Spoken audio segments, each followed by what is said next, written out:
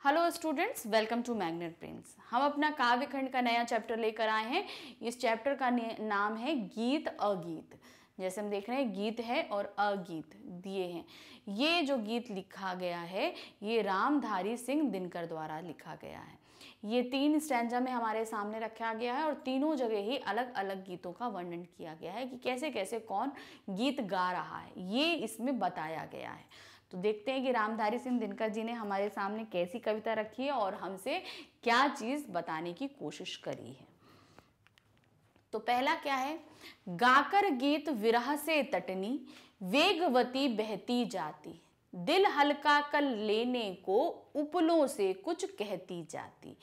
तट पर एक गुलाब सोचता, देते स्वर यदि तुम विधा, यदि मुझे विधाता अपने पतझर के सपनों का मैं भी जग को गीत सुनाता। गा गा कर बह रही निर्झरी, पाटल मुख खड़ा तट पर है। गीत अगीत कौन सुंदर है? तो यहाँ पर जो ये वर्णन कर, किया जा रहा है, एक नदी बह रही है। ठीक है? नदी बह रही है और वो अपने तट को छोड़ती जा रही है। तो विरह हो रहा है। जैसे प्रेमिका जो है, प्रेमी को छोड़ती है तो विरह वेदना होती है ना? जुदाई की जो वेदना होती है, उसको विरह वेदना कहते हैं। तो क्या है? नदी जो है, वो तट को छोड़ती जा रही है। तो बता रही है कि वो तट उसको बताया, उसका प्रेमी है और नदी आगे चलती जा रही है, यानी कि उसको छोड़ रही है और विरह वेदना है।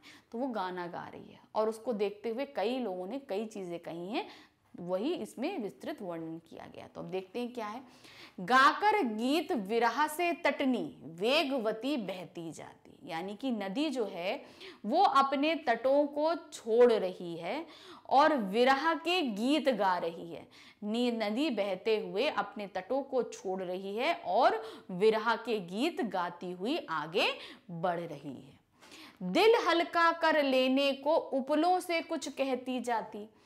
और अपनी विरह वेदना को कम करने के लिए, अपने दिल के जो बोझ को है, यानी विरह वेदना को जो है, वो कम करने के लिए जो बगल में पत्थर रखे हुए हैं, यानी नदी के बीच किनारे किनारे पत्थर रखे थे ना तो उपलों उपलों का मतलब पत्थर।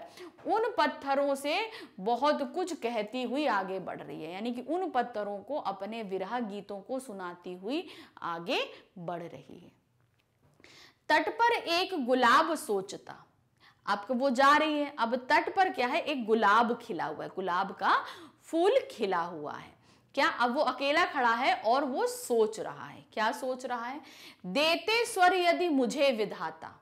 क्या कहते हैं? प्रभु ईश्वर, अगर आप मुझे स्वर देते, यानी कि आप मुझे अगर बोलने की शक्ति देते अपने पतझर के सपनों का, मैं भी जग को गीत सुनाता। यानी कि मैं भी जब झड़ जाता हूँ मतलब मैं जब झड़ता हूँ, पतझड़ का मौसम आता है ना तो मैं झड़ जाता हूँ। तो मेरे को अगर आप स्वर देते तो मेरे वो जो पतझड़ के दिन हैं, पतझड़ के जो दिन हैं, वो जो दिन बीतते हैं, बहुत मुश्किल के होते हैं, वो भी, उनके भी गीत जो है, मैं वो सभी को सुनाता। अगर आप मुझे स्वर देते तो मैं अपने पतझड़ के दिनों के, वो कष्टदायी दिनों के गीत भी सभी को सुनाता।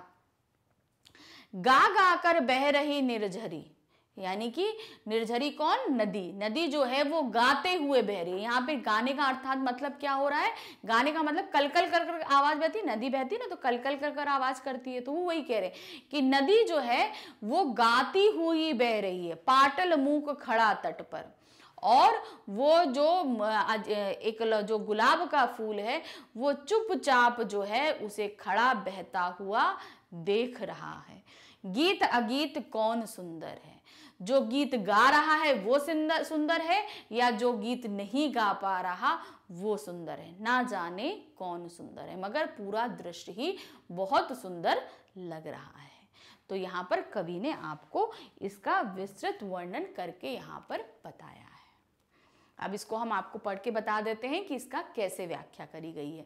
रामधारी सिंह दिनकर जी की कविता, गीत अगीत, इन पंक्तियों में कवि जंगलों एवं पहाड़ों के बीच बहती हुई एक नदी का बड़ा ही आकर्षक वर्णन किया है। उन्होंने कहा है कि विरह अर्थात बिछड़ने का गीत गाती हुई नदी अपने मार्ग में बड़ी तेज़ी से बहती जाती है। अपने दिल से विरह का बोझ हल्का करने के नदी अपने किनारों पर उगी घास और उपलवों के बनावट करते हुए आगे बढ़ती चली जा रही है। वहीं दूसरी ओर नदी के किनारे तट पर उगा हुआ एक गुलाब का फूल यह सोच रहा है कि अगर भगवान भी उसे बोलने की शक्ति देता तो वह भी गा गा कर सारे जगत को अपने पतझड़ के सपनों का गीत सुनाता। तो इस प्रकार जहाँ एक और नदी अपनी विरह के गीत गाते हुए कलकल की आवाज़ करते हुए बह रही है, वहीं दूसरी ओर गुलाब का पौधा चुपचाप अपने गीत को अपने मन में दबाए किनारे पर खड़ा हुआ नदी को बहते देख रहा है। तो इस तरीके से आप इसकी व्याख्या लिखेंगे। नेक्स्ट अब दूसरे पैरा में उन्होंने दूसरा, दूसरे के बारे में वर्णन किया। क्या किया है? बैठा शुक उस घनी डाल पर जो खोते को छाया देती। ठीक? पंख फुला नीचे खोतों में शुकी बैठ अंडे है सेती। गाता शुक जब किरण बसंती, छूती अंगपण में छन कर। किंतु शुक के गीत उमड़कर रह जाते स स्नेह में सनकर गूंज रहा शुक का स्वर वन में फूला मृग शुकी का पर है। गीत अगीत कौन सुंदर है? तो अब फिर इसमें क्या हुआ? अब क्या है? एक जो है खेत है। खेत में एक पेड़ है, घना पेड़ है और उस पेड़ के ऊपर एक तोता बैठा हुआ है। शुक मतलब तोता। तो क्या दिया? बैठा शुक उस घनी डाल पर जो खेत, खोतों को छाया देती। तो क्या हुआ कि जो है एक घना पेड़ है, उस घना पेड़ के सबसे ऊपर जो है एक तोता बैठा हुआ है। और वो पेड़ जो है वहाँ के खेतों खेतों को छाया दे रहा है। मतलब तपती धूप है तो जो लोग वहाँ काम करते हैं, आके बैठ के, बैठते हैं ना खेतों के पास तो वहाँ पर जो है खेतों में छाया दे रहा है। पंख फुला नीचे खोते में शुकी बैठ अंडे हैं सेती। और उसी घने पेड़ में नीचे की तरफ़ में शुक जो है तोते का वो घोसला है। तोते का क्या है? घोसला है। और उसमें शुकी, यानी कि मैना। तोता मैना होते ना तो मैना जो है ना, उसमें बैठकर जो है अंडों को से रही है। अंडे उसमें हैं और अंडों को से रही है, अर्थात गर्माहट दे रही है। गाता शुक जब किरण बसंती, छूती अंगपण से छनकर। और शुक जो है ना, वो अपनी बहुत ही अच्छी आवाज़ में जो है, वो गा रहा है। गाना, गीत गा रहा है। और उसके पंखों से छनती हुई धूप जो है, वो नीचे की तरफ़ आ रही है। किंतु शुकी के गीत उमड़कर रह जाते सह स्नेह मिशन कर अब जो शुकी मैना भी है, वो जो तोते की, जो गीत को सुनकर बहुत ही उत्साहित हो जाती है। वो भी गाना चाहती है, मगर वो तो अंडे से रही है तो वो जो है, गा नहीं पाती। मतलब उसके पर जो हैं, वो उसी में सनकर, उसका स्नेह जो है, उसी में जो है, सुनकर रह जाता है, वो गीत नहीं गा पाती। गूंज रहा शुक का स्वर वन में और क्या है? पूरे वन में, यानी कि पूरे जगह पर जंगल में जो है, शुक का, यानी कि तोते का गीत गूंज रहा है। फूला मृग शुकी का का पर है, गीत अगीत कौन सुंदर है? और उसके गीत को सुनकर जो है, शुकी जो है, वो प्रेम से ओत पोत होकर सिर्फ़ अपने परों को फैलाकर रह जाती है। गीत नहीं गाती, क्या करती है? अपने परों को फैलाकर रह जाती है। अब बताइए, कौन सुंदर है? जो गीत गा रहा है, वो गीत ज़्यादा सुंदर है?